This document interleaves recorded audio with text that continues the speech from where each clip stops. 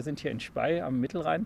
Äh, ich bin der Florian Weingart und äh, mit meiner Frau Familie bewirtschaften wir hier ein kleines äh, Weingut, ausschließlich Steillagen, fast nur Riesling, etwas Spätburgunder.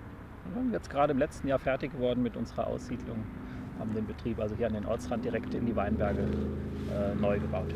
Was hier draußen halt jetzt ganz spannend ist, wir haben halt Rebflächen direkt am Weingutskeller liegen, aber eben auch Wiesen, die wir beweiden mit einem Landwirt hier am Ort und einer Familie, die Schafe haben.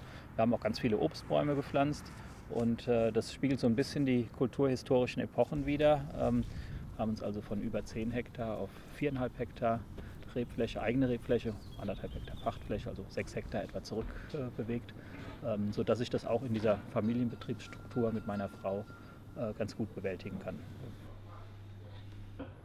Wir sind natürlich auch ein kleines Weingut, wollten nicht so groß bauen, aber es war halt tatsächlich für ein ge klassisches Gebäude halt nicht mehr viel Raum.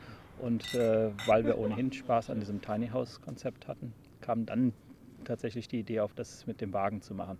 Der Wagen ist ein bisschen erhöht die Terrasse. Das fügt sich wesentlich besser da ein als ein Gebäude, was so auf dem Boden aufsitzt. Ja, und ähm, das war für uns auch eine Möglichkeit, ein bisschen von dem ja, sozusagen von dem Privileg wieder zurückzugeben an die Besucher, dass wir hier draußen wohnen dürfen. Ähm, das ist ja nicht selbstverständlich im Außenbereich. Und ähm, dann haben wir den Platz eben auch als öffentlich zugänglichen Platz konzipiert, sodass einfach jeder kommen kann, Wanderer und ganz gleich, ob aus dem Ort oder vom Campingplatz oder Weinkunden, die von weiter weg kommen. Jeder kann den Platz halt nutzen ähm, für die eigene Brotzeit. Jeder kann einfach was mitbringen.